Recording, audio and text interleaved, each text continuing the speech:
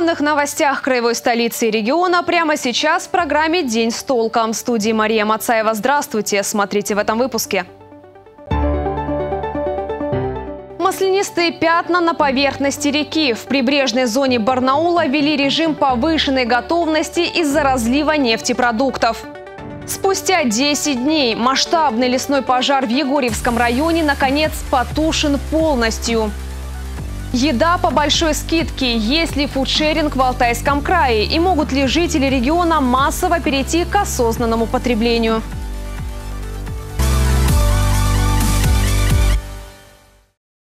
Пожар в Егорьевском районе наконец-то полностью потушен, сообщили в Минприроды края. Напомним, он начался еще 19 июня, а спустя несколько дней распространился на территорию в 10 тысяч гектаров.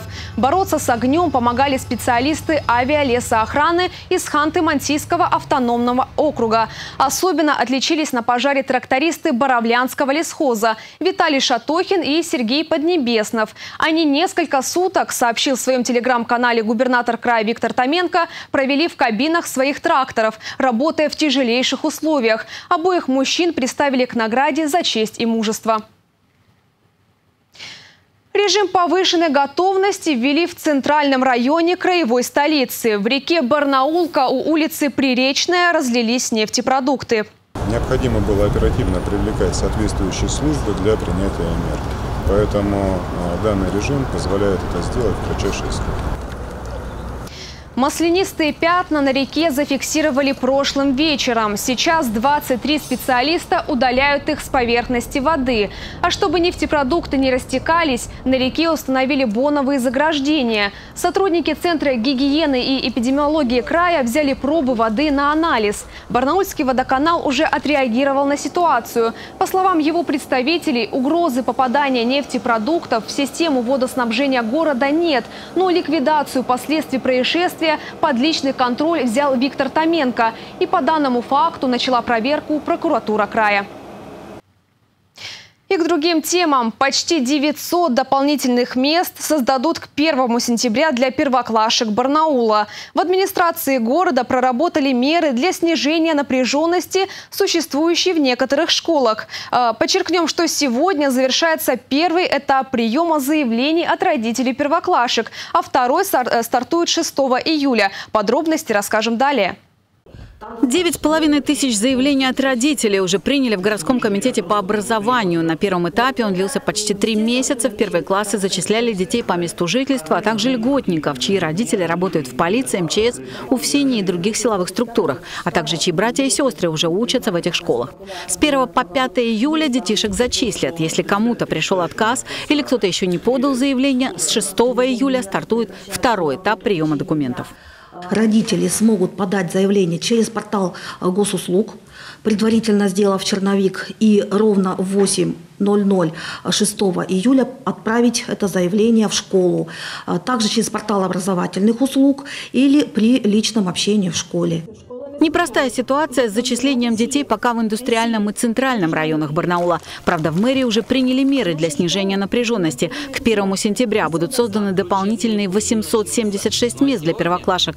Для закупки оборудования и мебели выделены средства. В ряде школ пришлось прибегнуть и к непопулярной мере. Количество детей в классах придется увеличить до 34, где-то до 38. Решаются проблемы и в новых микрорайонах времена года и Норд. Детей оттуда будут возить на автобусах до 84 и 114 школ.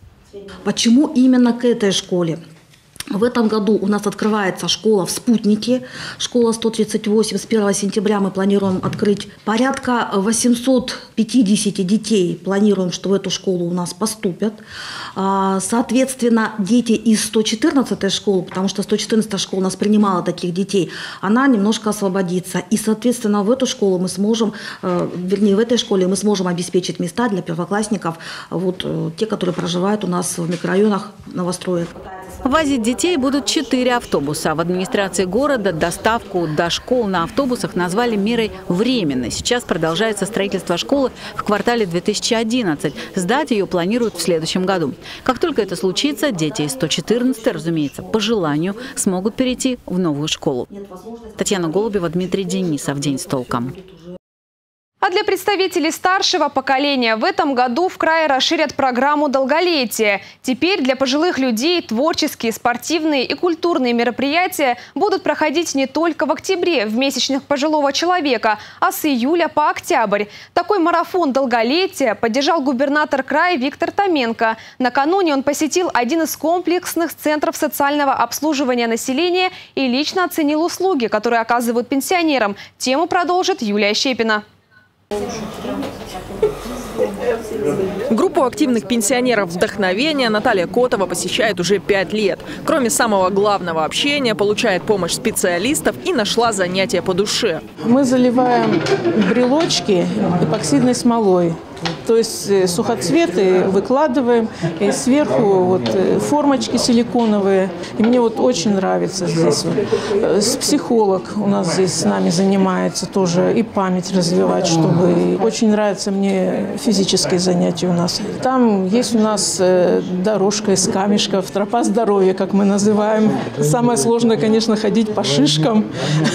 Не каждый может. Ежедневно комплексный центр в Новоалтайске посещает около 160 человек. Учреждение оказывает услуги в стационарной, полустационарной и надомной формах социального обслуживания населению Новоалтайска, Косихинского и Первомайского районов и зато Сибирский. У нас есть несколько отделений. Есть отделение комплексной реабилитации, где услуги предоставляют специалисты для семей, воспитывающих детей-инвалидов. Есть отделение по работе с семьей. А сейчас в основном специалисты этого данного отделения закрывают такое направление, как работают с семьями, участниками специальной военной операции. И Центр дневного пребывания, в котором мы сегодня с вами находимся, он открыт для людей пожилого возраста и инвалидам 18+. В 2019 году учреждение Казани стала участником регионального проекта «Старшее поколение» по национальному проекту «Демография». В 2020 году открыт пункт проката технических средств реабилитации. Губернатор края Виктор Томенко посетил центр и встретился с его постояльцами. Я даже не верил, я вот седьмой год хожу, что, с этим, что вот так сделают. Быстро сделали, хорошо. Ну, есть с чем сравнить, да? Конечно, очень большое сравнение. Поток, тут движение сейчас общение. А вы сами где живете? Я же с Боровихи езжу ага, за 40 километров. Но тем не менее еду сюда, потому что тут интересно. В крае сегодня живет свыше 700 тысяч пенсионеров. Им оказывают разные формы поддержки. Мы будем продолжать это все делать. Из последнего, что вот люди, кто совсем у нас постарше, дети войны, мы приняли решение ежегодно выплату Дню Победы делать. Также Виктор Томенко рассказал о том, что с этого года для пожилых людей края стартует марафон долголетия. Четыре месяца различных мероприятий, от социальных до спортивных. Председатель Совета ветеранов Первомайского района отметила, что такая забота не помешает. Но лично она мечтает об интернате в их районе. Виктор Томенко пообещал поработать над этим вопросом. Ну а вам пахать и пахать. Ну, э, Вы пять лет отпахали спасибо, и на пять лет, Я чтобы... хочу сказать, что мы стараемся. Мы стараемся. Юлия Щепина, Владислав Ковалев. День с толком. В Госдуме предложили разрешить магазинам бесплатно раздавать товары с истекающим сроком годности. Это получится сделать, отменив НДС на фудшеринг для торговых сетей. Сегодня на российском рынке развиваются две модели фудшеринга – благотворительный и коммерческий. То есть в первом случае еду раздают безвозмездно, а во втором продают по внушительной скидке. Как раз об этом наш следующий материал. В нем мы пытаемся ответить на вопрос, а если фудшеринг в Алтайском Алтайском крае, в принципе, и в других регионах России? 30% от всей э, еды, которая производится, оно уходит в пищевые отходы. Это примерно э, 2,5 миллиарда тонн ежегодно. А именно, это то, что пропадает по пути в магазин, на его прилавке или у нас дома в холодильнике. Елизавета живет в Норвегии и уже пару лет она в каком-то смысле герой. Девушка спасает продукты с помощью фудшеринга. Для начала фудшеринг бывает благотворительным и коммерческим. В отличие от первого, коммерческий фудшеринг подразумевает продажу еды по большой скидке. Наша героиня открыла для себя несколько приложений, которые борются с пищевыми отходами. В дело подключаются кафе, магазины и даже отели. Мне очень стало интересно вообще, как это работает. То есть это был новый стартап. вот, в Норвегии у нас. И э, я вот так вот зарегистрировалась, то есть ты платишь э, вот э, фиксированную сумму всегда, это очень маленько, то есть это 4 евро, и всегда пишут, э, на сколько денег вот в этом пакете будет продуктов, то есть обычно там на 20 евро. Очень быстро разбирают. То есть это действительно как бы хорошая свежая еда, съедобная абсолютно, которую э, мы спасаем от выкидывания. Но пока фудшеринг больше распространен в Европе. В нашей стране, пожалуй, только в столице, и то на старте. В небольших городах фудшеринг ассоциируется с простой уценкой. Даже так, на грани просрочки.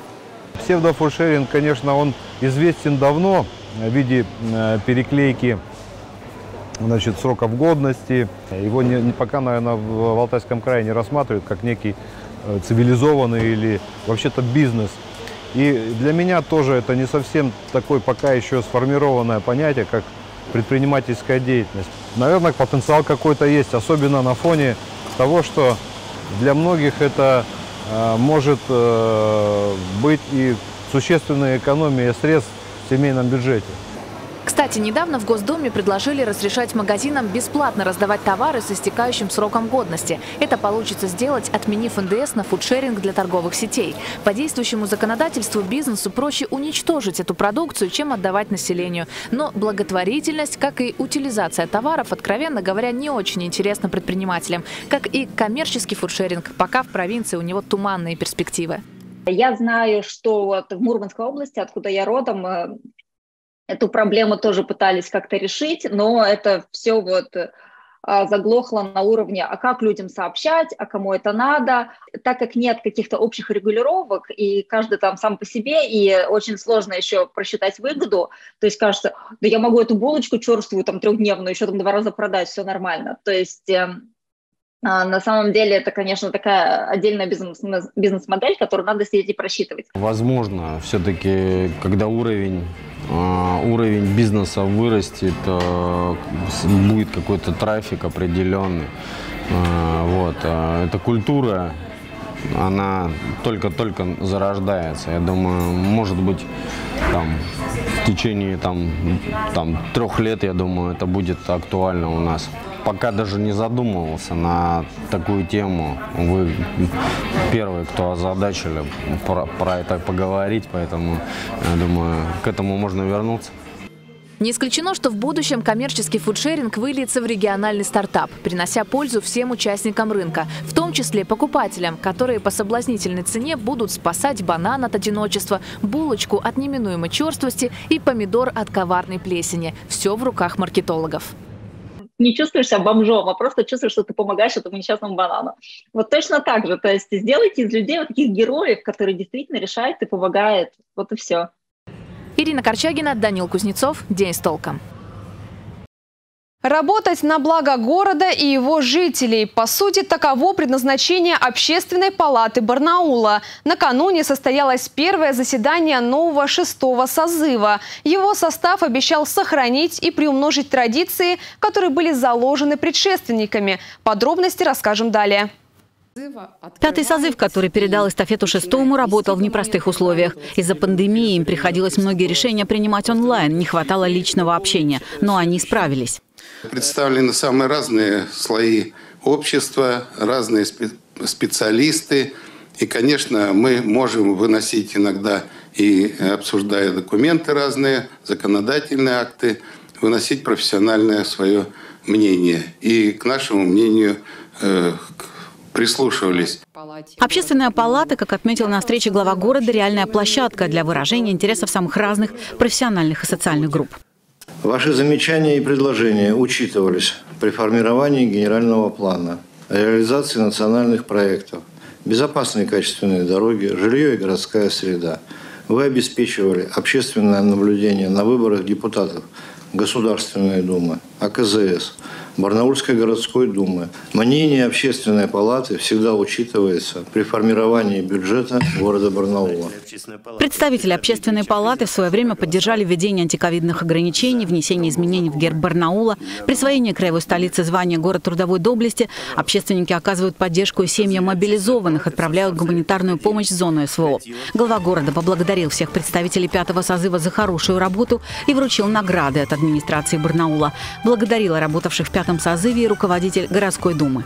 Я еще раз хочу выразить слова признательности депутатского корпуса за вашу работу и смею надеяться, что следующий созыв Общественной палаты будет столь же внимателен к проблемам и э, чаяниям жителей Барнаула. И самое главное, мы сохраним нашу добрую традицию взаимодействия с депутатским корпусом Барнаульской городской думы. Владимира Лопаткина на посту председателя общественной палаты в шестом созыве сменил Борис Черниченко. Он пообещал сохранять традиции предшественников. Мы, скорее всего, будем вот, и, по сути дела, должны являться вот тем проводником, который э, усиливает связь населения и э, руководства городом, э, дает возможность э, глазами э, жителей администрации увидеть те проблемы и наоборот. Вячеслав Франк поздравил нового руководителя общественной палаты и пожелал успехов в дальнейшей работе. Татьяна Голубева, «День с толком». Экологическая акция по раздельному сбору вторсырья впервые пройдет в Новоалтайске. Организаторы движения призывают сохранять чистоту природы, разделяя мусор. Он отправится не на полигон, а на переработку. Принести можно будет металл, стекло, бумагу, пластик разных видов и маркировок, ветошь, сломанную бытовую технику и рентгеновские снимки. В Новоалтайске, правда, пока не смогут принять просроченные лекарства и блистеры, картриджи от фильтров для воды, пенопласт и целлюлозы целлюлезные ячейки для яиц. Новоалтайск готов вообще, не знаю, на 99%, потому что ни одного человека я не встретила, который э, не принял бы нас вот каким-то отторжением. Все рады, что мы наконец-то в Новоалтайске будем делать э, это дело благое, потому что очень много, многие люди из Новоалтайска и э, ближайших э, округов, так сказать, ездят на акции в Барнаул. А нет такой возможности у всех ездить постоянно, и поэтому все копят это все в квартирах. А, ну вот и вывозят раз в 3-4 месяца. В Новоалтайске можно каждый месяц. Мероприятие пройдет 1 июля с 12 до 14 часов у торгового центра «Альфа». К экологической акции может присоединиться каждый. Такой выбор однозначно сделает наш край чище. И к другим темам. В краевой столице начали готовиться к празднованию 293-й годовщины со дня образования города. Ее предварительно отметят в субботу, 2 сентября. А главной темой именин станет слоган «Барнаул – город умных, талантливых и сильных людей». Подробнее о том, как пройдет День города 2023, расскажем далее. 293 года исполняется в этом году Барнаулу. На заседании городского оргкомитета, посвященного подготовке к празднованию, обсуждают, как ярко отметить красивую дату. По словам председателя комитета по культуре Валерия Паршкова, главная тема торжества в этом году – Барнаул. Город умных, талантливых и сильных людей. Иными словами, развитие столицы края через демонстрацию достижений горожан. Праздничные официальные мероприятия предлагаем условно разделить на три направления. Это знания, которые образование, наука, молодежная политика – Творчество, культура, дополнительное образование, архитектура, дизайн и благоустройство и успех. Здесь мы будем рассказывать о героях специальной военной операции, волонтерах, достижениях в промышленном производстве, спорте, победителей творческих фестивалей и конкурсов. Еще одна фишка праздника – портреты барнаульцев с описанием их достижений. Под поздравительные баннеры планируют отдать не меньше сотни рекламных поверхностей разных форматов.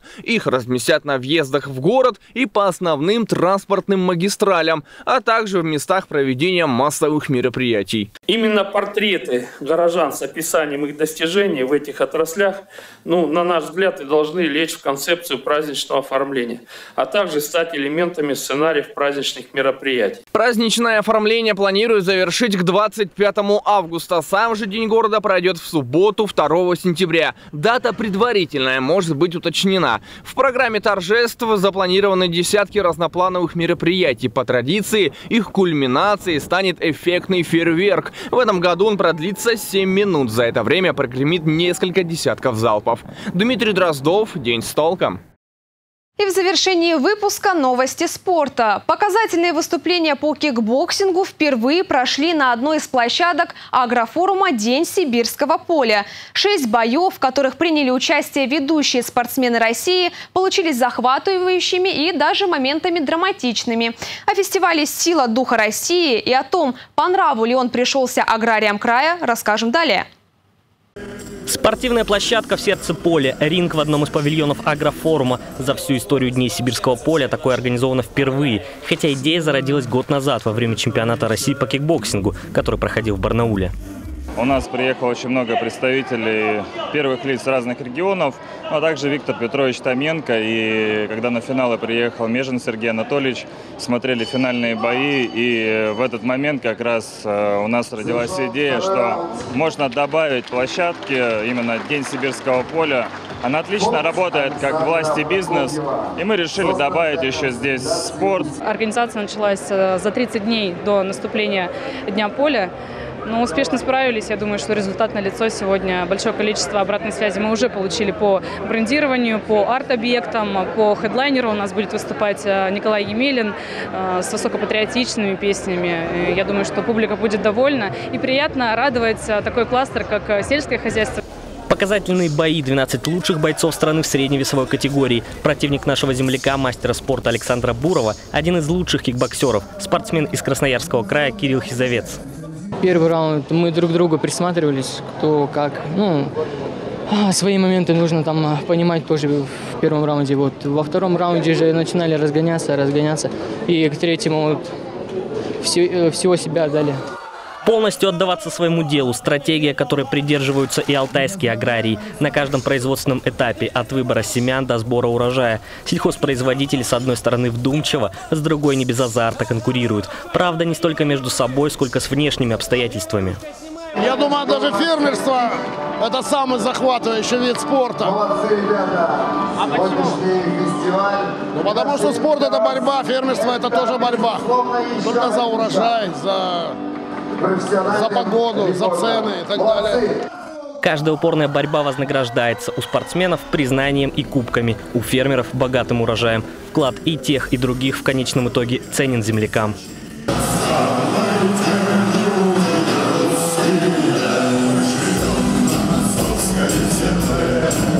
Данил Кузнецов, Дмитрий Денисов. День с толком. На этом у меня все новости уходящей пятницы. Завтра смотрите итоговый выпуск недели с Ириной Корчагиной. Неизменно для вас телефон нашей редакции 205 545. А через несколько секунд узнаем, какой будет погода. Спонсор прогноза – компания «Эвалар». Всем хороших выходных и до встречи в эфире.